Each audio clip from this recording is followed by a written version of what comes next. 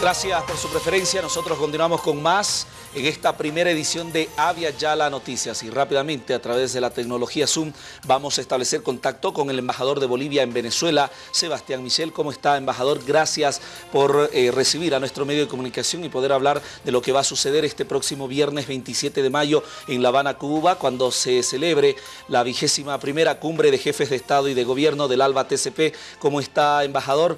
Buenos días. Muy buenos días, eh, un saludo grande a ti y a toda la audiencia de Avia Yala.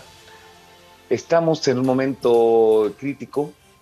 Eh, el ALBA es una alianza que pretende generar procesos de integración, de comercio, pero también es un foro político. Y es un foro político a puertas de una cumbre regional muy importante. Claro. Y eh, es precisamente la coordinación de cómo tenemos que dejar un precedente de aquí a futuro de eh, lo importante que es una cumbre.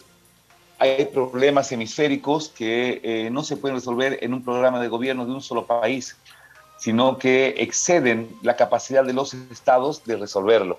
Es el caso migraciones, es el caso crisis económica, es el caso comercio, que no basta con que un país tenga la voluntad, sino tienen que coincidir muchas voluntades.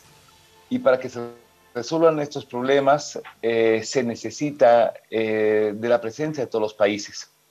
Entonces, eh, la alianza va a tener seguramente una importante comisión en tema de salud, en tema de seguridad alimentaria, en tema de prevención de riesgos, en temas económicos y de comercio, pero sobre todo la importancia va a estar centrada en el foro político, en cómo se genera un bloque de países que tengan una posición sobre lo que va a pasar en la cumbre eh, de las Américas que se va a realizar la, la primera quincena de junio.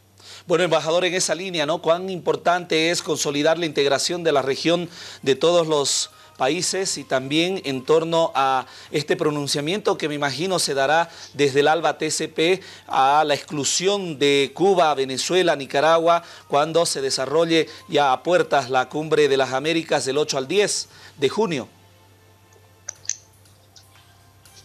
Sí, es cierto.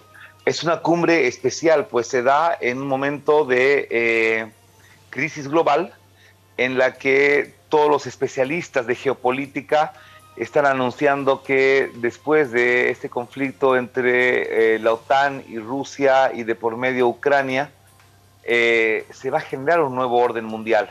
Un nuevo orden mundial que va a ajustar fronteras, economías, cooperaciones en todo lo que es Eurasia, desde Rusia hasta China. Se va a crear un nuevo escenario de relaciones entre África, una África nueva, pujante, con economías fuertes, y una Europa que viene muy debilitada por su eh, incapacidad de soberanía energética, y un rol de Estados Unidos que ya eh, ha asumido que eh, no existe su mundo unipolar, un mundo donde era hegemónico, pero por lo menos trata de que eh, la avanzada de China no se dé hacia África y hacia Latinoamérica.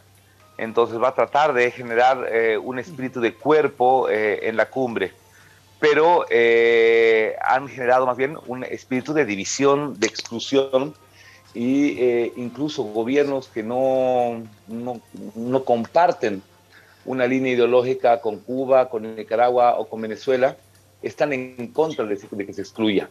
O sea, los problemas son de tal magnitud, el problema medioambiental es de tal magnitud que no puedes resolverlo solamente como los que piensan como Estados Unidos. Tienes que resolverlo con todo el espectro. O sea, tenemos que tener un, punto de, de, acuerdo en que sin importar la ideología, todos nos vamos a preocupar por el medio ambiente y por el efecto en la mitigación de riesgos. Claro.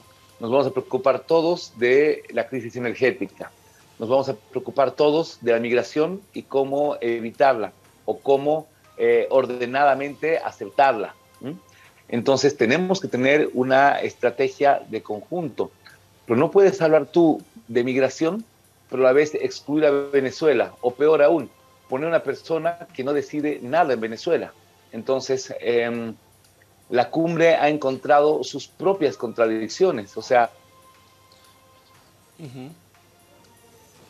Así es, embajador, estamos perdiendo el contacto para poder volver a restablecer tanto lo que se va a tomar en torno a la vigésima primera cumbre eh, de jefes de estados, el ALBA TCP, donde no solamente se tocan temas eh, políticos con frente a lo que va a ser la cumbre de las Américas, pero sino también es muy importante hablar del ALBA TCP cuando se tiene tarifas más competitivas entre socios, cuando se debe generar más negocios entre los países aliados y sobre todo cuando hablamos de economía, pues es más competitiva con el resto del país, que eso también ayuda muchísimo a poder fortalecer estos negocios frente a un bloque integrador mm, totalmente diferente. Si bien la cumbre de las Américas pierde esa legitimidad que usted decía, embajador, pues es muy importante tener estos otros espacios que sin duda ayudan y que llegan mucho más a las regiones como es Latinoamérica y los países miembros. Embajador, lo estamos escuchando, tenemos el contacto nuevamente.